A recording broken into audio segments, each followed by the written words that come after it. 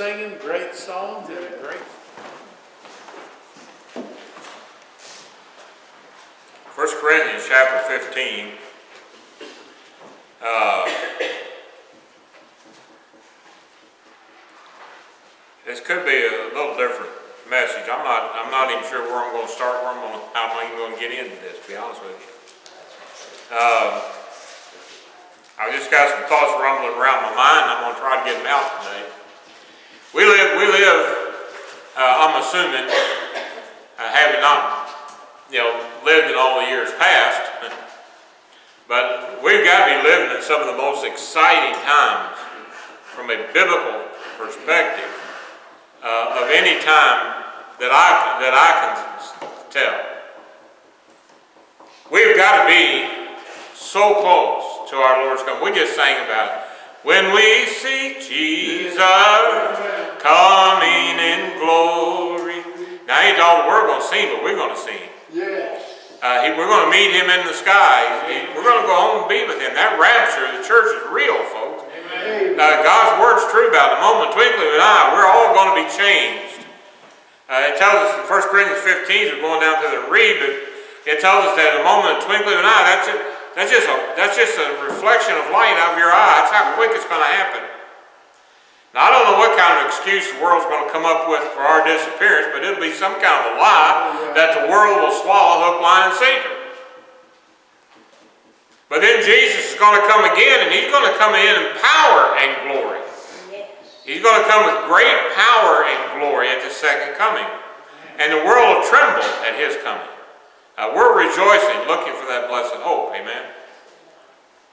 But I just, I just look at everything that's going on. I mean, who would have thunk it? Amen. Uh, just, a, just a few years, a few years ago, that we would live in a society uh, where people don't know whether they're he's or she's or it. Yeah. Where governments are fighting to make it law for them to not know whether they're a he, she, or an it. Who would have thunk it? But Jesus thought it. Matthew 24, you go where you begin to look around in, in uh, his teaching on the last day. He says, It was in the days of Sodom and Gomorrah, so shall it be in the coming of the days of Son of Man. Now, Luke 24, or Matthew 24, all deals, Matthew 24, Luke 21, Mark 13, I think it is, all deal with the second coming of Jesus. But if the rapture occurs before that, then we've got to got to really kind of get kind of excited thinking about it. Because that means we're just that much closer to Christ coming for His church. And then I, I got uh, uh, to reading about, uh, in Alaska, they're worried about the icebergs melting. and the polar bears don't have some place to, to hang out, you know. And, but they've got to digging around into the permafrost, and they, they've dug tunnels in Fairbanks, where they got tunnels dug underneath the, the permafrost, and it's thawing out.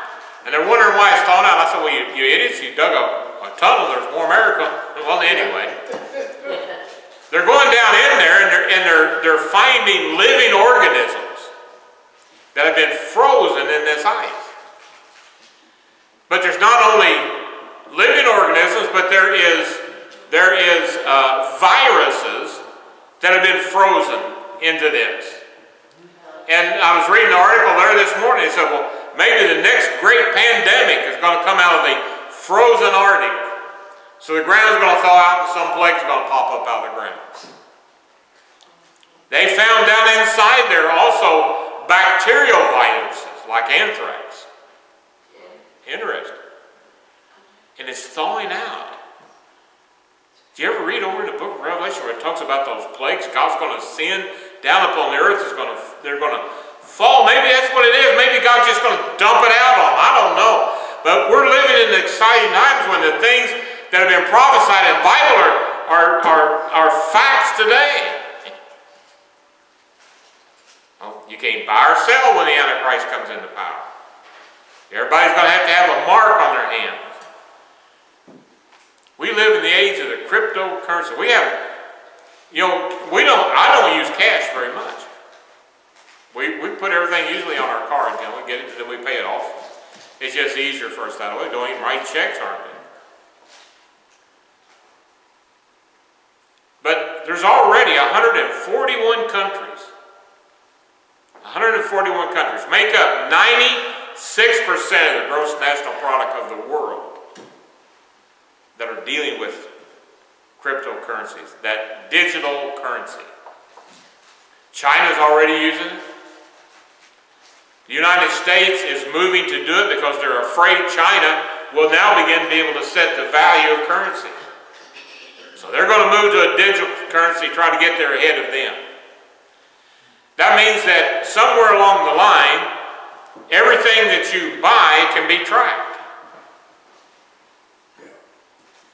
Uh, I was listening to a conversation on the radio going, going up to Moberly this week to uh, put on mud, and uh, uh they was talking about the, the cryptocurrency, and they, they were saying that that uh, when this thing got in, that they, they would be able to track everything that you buy. And the, the guy was on the show, he said, if I go out and buy a stick of gum, they're going to be able to know, they'll know exactly where you bought that stick of gum, how much you paid for it. Now, it's interesting that they want to do this, though, to preserve our societies. Uh, because it'll stabilize our, our financial uh, institutions that are caving in. It will, it will help prevent crime.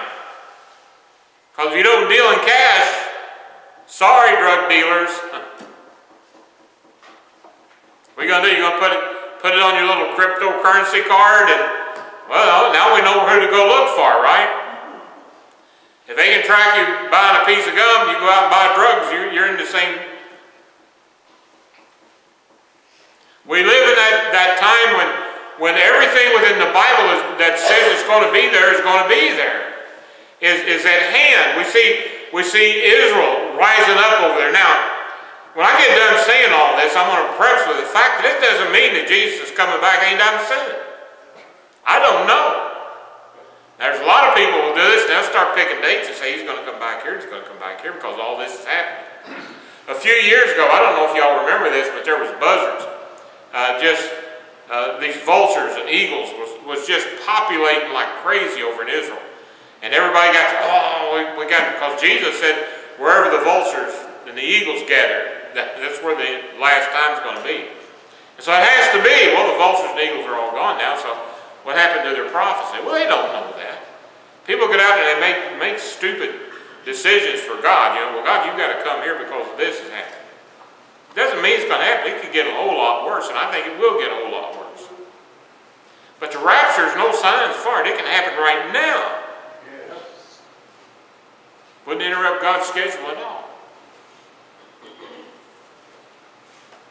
So we live in that that that uh, tech techno, techno, what do they call that? Tech, I know it's technology, but it's techno something.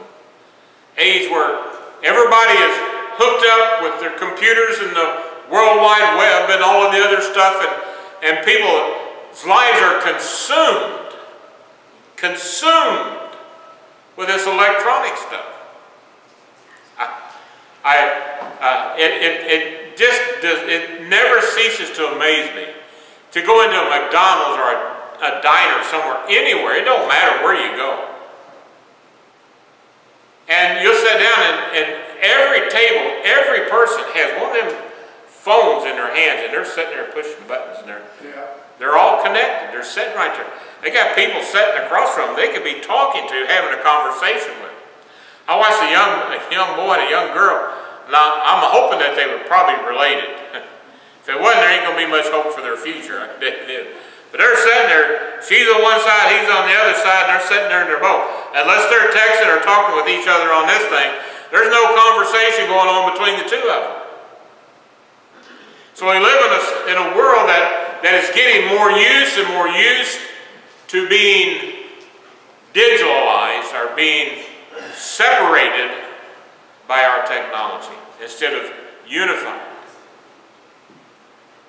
Instead of having people in a society who actually deal with each other. We live in a society that, that is looking to control. It doesn't matter what. It, we, we've seen the major, I mean, we, we've seen how easy it was during, during COVID. Doesn't take just a little bit of promotion, fear builds up, people are scared to death, wear one mask, two masks, a dozen masks, no mask. Take the jab, don't take the jab. We, we live with people who live on the edge of fear, and anytime they can build fear, they can control the people. And that was, that was just proved. Just proved. Scary thought at how easily we think, oh, there's got to be some kind of a great, great happening. Something's really got to shake the world up for the Antichrist to come in, come into power. No, just a little bit of fear. Yeah. And people will follow it, hook, line, and sinker. So we live, we live in a, in a, a, a crazy, crazy age, crazy world age, I guess. But then, what ought our priorities to be? What ought our priorities to be? Oh, we just keep It. We get up word. We get word. Well, Jesus comes. He coming? Is he coming tomorrow? Is, is the second coming? We're going to go through the tribulation because people are looking at it and say, "Boy, this looks like we're going to get wind up into the seven years of the tribulation because church isn't gone yet, and all these things haven't happened that we think ought to happen." And so people are getting all. You're finding every kind of weird, strange doctrine. The church is about as messed up as I know that you can get uh, a church messed up, and I'm talking about the worldwide church right now of all denominations and faiths, you lump them all together, it is a putrefied, boiling mess. They've thrown the book out the window, they've thrown Christ out the window, they've thrown God out the back door. They've embraced socialism and society as the rules of how they function as a church.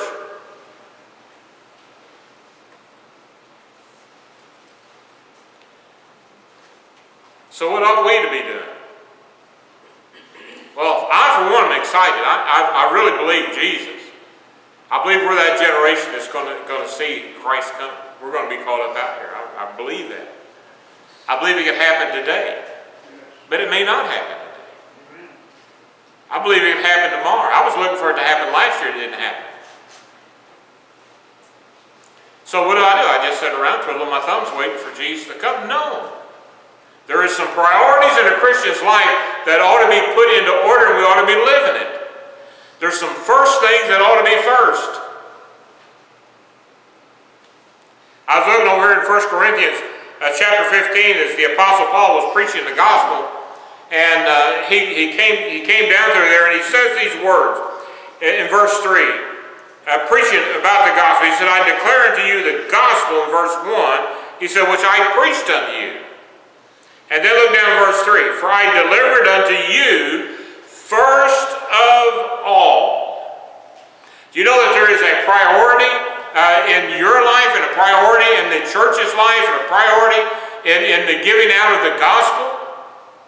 Above all other things, that which is first of all. That which is first of all in my life, I need to be saved. I need to be saved by the blood of Christ. I need to be saved by the death, the burial, and the resurrection to put my faith into Christ. Without that, I'm lost without any hope.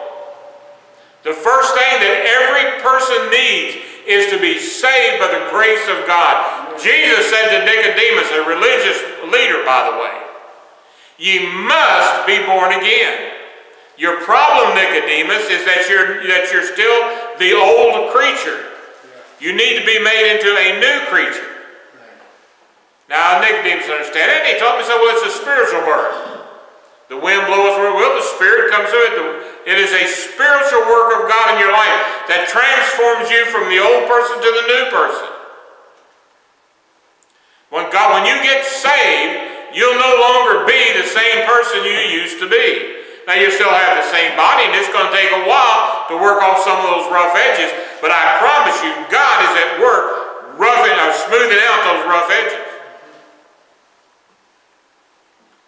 If the day you got saved, you're still doing the same things that you did back when you got saved, then there's a problem with your salvation. God changes those whom He saves. Yes. We take off, and he, he requires of you to get into His Word, to study, to take off the old man, to put on the new. To allow Him to do something in your life. But there is a priority, and that is first of all, the gospel. You've got to get that right.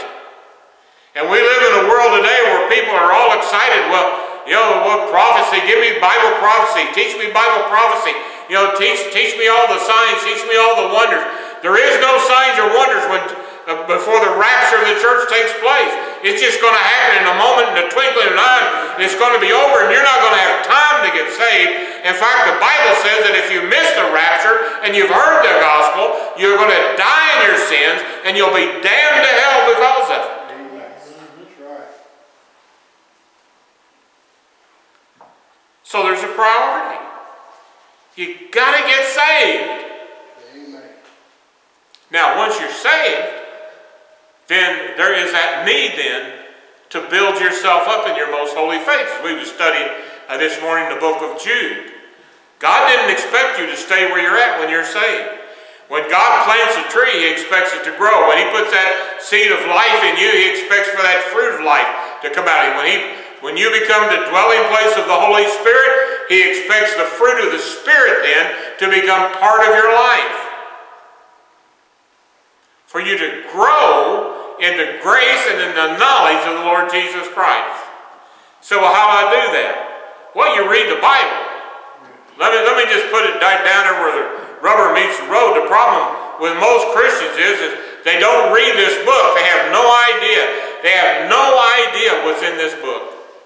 This is the most fascinating book that has ever been, been delivered into the hands of man by the hand of God himself. It had, you, you will never, you will never, never, never, and I say this without any fear of, of being wrong, you will never exhaust the truth that's in this book. Right. Right. Man. You'd have to exhaust God to be able to uncover all the truths that's in this book. I read stuff, it just, I look at it and I just, I, it, Lord, I said, that's so far over my head, I ain't even beginning to think about touching it. I just go on till He gives me some more light on it. Yep. Amen. Yep. People, they just close up the book, leave it lay somewhere. They never read it. It's not a part of their daily life. They don't get up. You know, you know how long it takes to read this book? It takes you five chapters a day. You can be through it. You can be through it twice in a year. Three chapters a day will get you through it once a year. Is that, is that just overwhelming? Is that, is that something we just can't make enough time for? Have you ever read this thing front to back? Have you ever started in Genesis, went all the way to Revelation? Have you, do you do that on a yearly basis?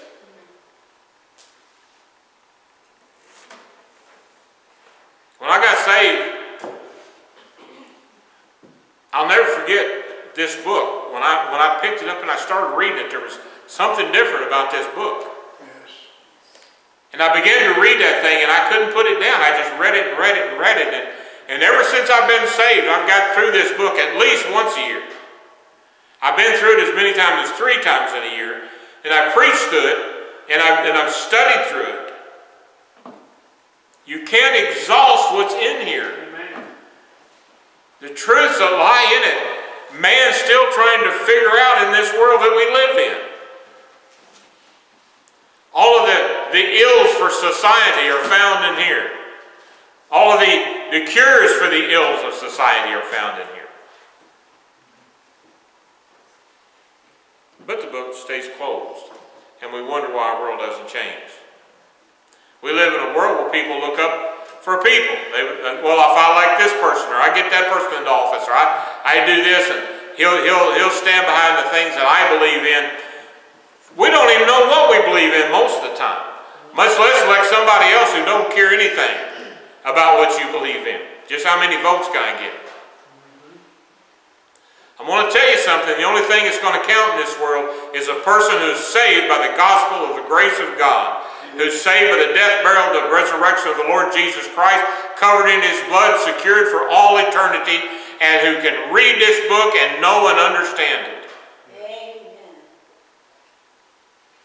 The Apostle Paul said to Timothy, Study, study to show thyself approved. A workman rightly dividing this book. You know why we get so many weird doctrines in this world? They don't divide this book Yeah. correctly. They want to take things like Matthew 24 and apply it to the church. It don't apply to the church. That's the second coming. We're gone by the time Matthew 24 gets here. Amen. Know this book. Know your Savior. Know the book. Know your Savior and know the book. And then finally turn over to the book of Titus.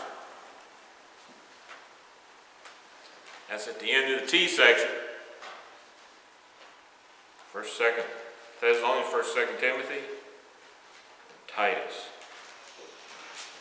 Drop over to about chapter, where am I wanting at here, chapter two.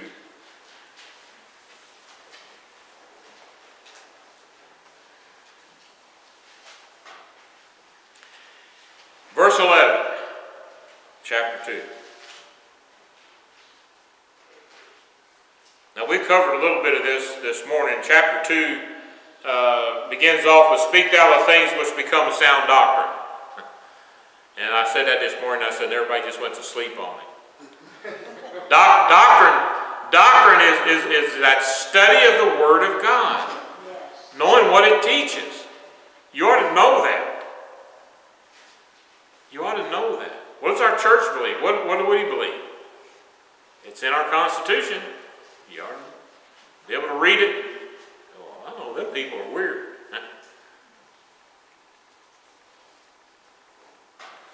But I want you to look at verse 11.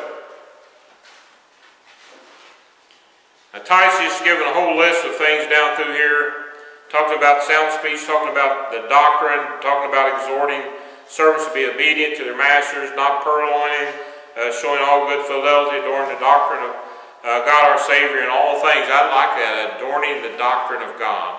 We ought to wear it gracefully. We ought to wear it gracefully. But look at verse 11.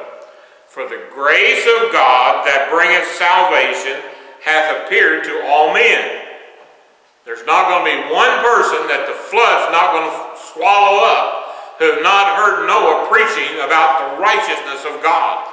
There will not be people in this last day who will not know about the gospel of Jesus Christ. And when that flood comes, they'll believe the lie because they wouldn't believe the truth. It's appeared to all men. He wasn't hidden, hadn't been hidden for all these years. It's been preached and preached and wrote about all the all the libraries of all the world couldn't hold all the books have been written about Christ. It wouldn't hold all of them that ought to be written about Christ. We get our, unfortunately, instead of getting our doctrine from the Word of God, we usually go to the movies. I mean, you, you talk about the Exodus. Most people know about the Exodus because they watched it on TV.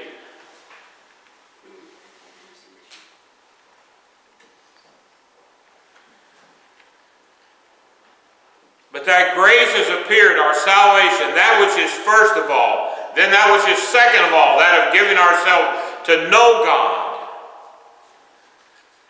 That gospel teaches us some things. It teaches us in verse 12 that denying ungodliness and worldly love. There's just some things as a Christian you've got to deny. Yes. Yes. Said, no, I'm not going to do it. Doesn't adorn the gospel of Christ. It brings shame upon Christ. It can bring reproach upon his name. And I'm not going to do it. He says we ought to live soberly. Now that, that might be true for a lot of people, period. Just need to put the bottle down. There's a reason uh, we, we teach against the drinking of alcohol. That's you just ought, ought, you ought not do it. It's not it's not given unto princes and it's not given to kings to, to drink wine, to drink alcoholic beverages. The Bible teaches clearly that those who do are deceived and are not wise. Uh, it says we're not to look upon it when it stirreth itself in the cup. That's that, that's, that's that uh, fermentation that takes place with it. But that's not what I'm preaching about this morning. Soberly, that means you need to be thinking straight. Not silly-headed, silly-minded, but to be sober about the things of Christ in your life. To think, well, you know, maybe tomorrow I'll try this. No, you do it today. Be sober-minded about those things. Denying ungodliness and worldly lust, we should live soberly, righteously, and godliness present. There you are. That's what the gospel ought to produce in your life. When you're, when you're before Christ comes, because when He comes, you're going to go into His presence, but you're also going to go to the judgment seat of Christ. At that judgment seat of Christ, you're going to give an account of how you've lived, good or bad. Now, thank God your salvation isn't on judgment day. You're on a foundation that will not be destroyed. Jesus Christ is our foundation. But everything upon that foundation that you've built and lived as a Christian will be tested by fire. Wood, hay, or stubble, or whether you built out of precious jewels, gold, and silver. It's all going to be brought to the forefront. And whatever's left, whatever's left is your reward. Lord, help me not to have to stand there with a handful of ashes and say, Lord, you died for this. But help me to live in this present age, this ungodly age. Because we live in an ungodly age. Anytime you can get this close to, to fulfilling the book of Revelations in a world that we live in, it's an ungodly age because it's a world that has separated itself from God, that has set itself up under the authority of man, that has given itself to the, to the, to the lust of, of, of a demonic being, of that Lucifer, Satan, that one who was a covering cherub, who desired to overthrow the throne of God, wants to set himself up as the ruler of this world. And this world is given open-handed for that to happen. When we see that happening, when we see the way for the Antichrist being paid, it ought to scare you to death. It just tells us that we're much that much farther away from, from living in a society that is a godly society.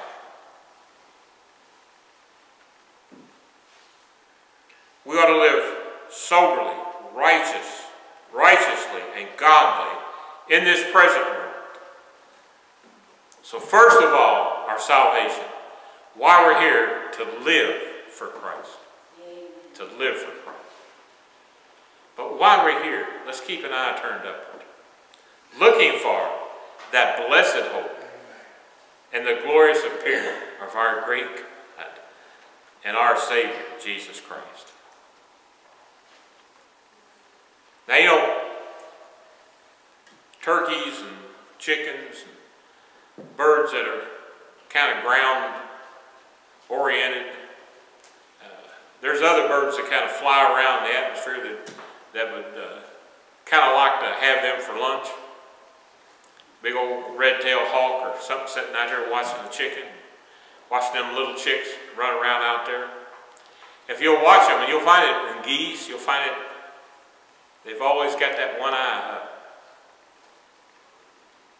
They got that one eye up. What are they looking for? Well, they're looking for the, something that's coming from up above. Now, the one they're looking for is coming up above is coming down to eat them. be a good reason to, to think about looking for But the one we're looking for loved us. Yes. And pulled us up under his wings so that the one who devours us can't find us. He hides us under his wings. He hides us under the shadow of the cross. He hides us under the blood. And one of these days, he's going to split open those heavens and he's going to say, just like he said to John out there in the book of Revelation, come up hither. And folks, the saints are going to lose their gravitation. We're going to go up. The saints that have already passed are going to come down with him. We're going to have a reunion in, in in, in the presence of our Savior like you've never ever thought of about. Amen. Yes. Praise the Lord. Because He gave Himself for us, that He might redeem us from all iniquity. and purify unto himself a peculiar people, zealous of good works. What are you zealous about? You've not been saved by works, Ephesians chapter 2, 8 and 9, but it also tells you you've been saved unto good works. Are you zealous for those good works? Are you zealous about having Christ alive in your life?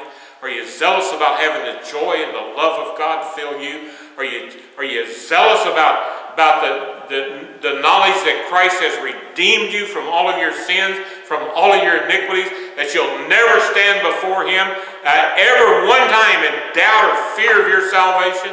Because He loved you enough to demonstrate that love upon Calvary, to die for you, and He had the power to conquer not only sin, but death itself, and to offer to every person who receives Him eternal life. Amen. Yes. Are you zealous about that? Are you zealous about the church?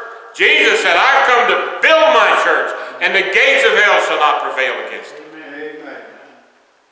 Now, I know about the local church and the body uh, universal. I know, I know all of that, but every, every church is a visible church. You just, he didn't write to, to the invisible bodies of the churches in the book of Revelation.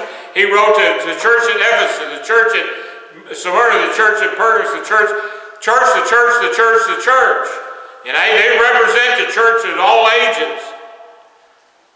But he also looks down and says, there's my church, there's Sulphur Springs. They've set up and committed themselves one to another for a purpose of, of being zealous for the work that I've called them to. To worship me together in, in corporate body, to praise me and to lift me high. To take upon the battle of this world, to send missionaries to places that they can't go, to send out tracts to people who will, who will take them from their hands and will read them, who are willing to tell somebody about me.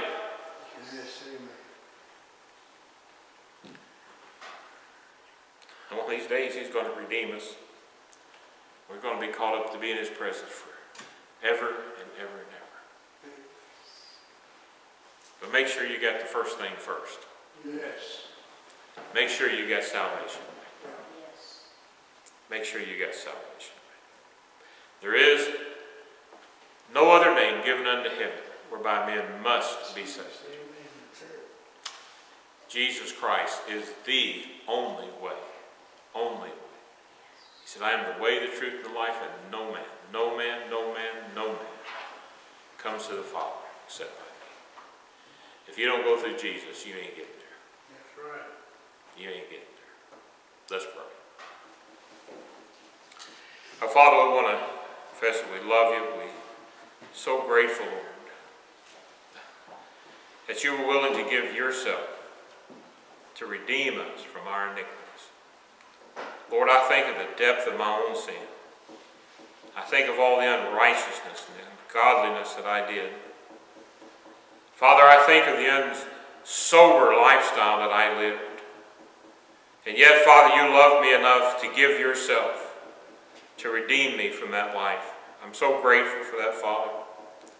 I pray, Father, that I might adorn the gospel in a right, godly manner. Father, I pray that my life would be honoring to you.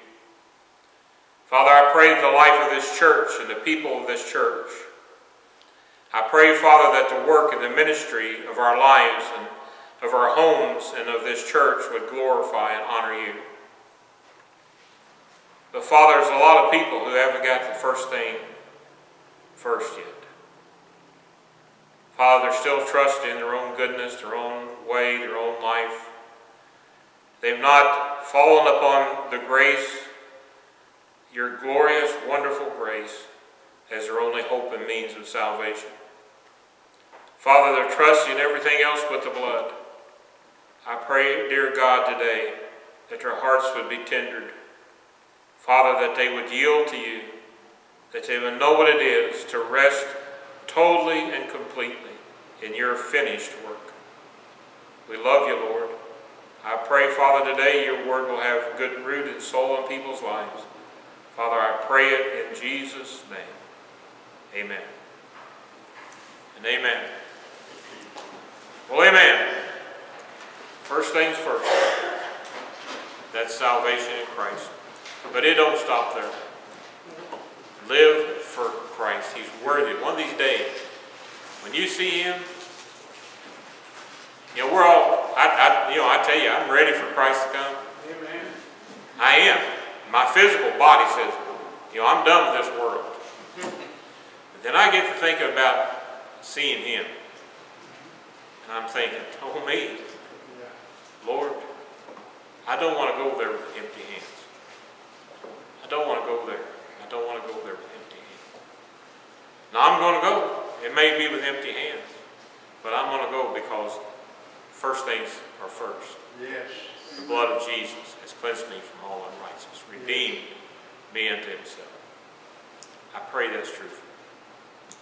God bless you. You're dismissed.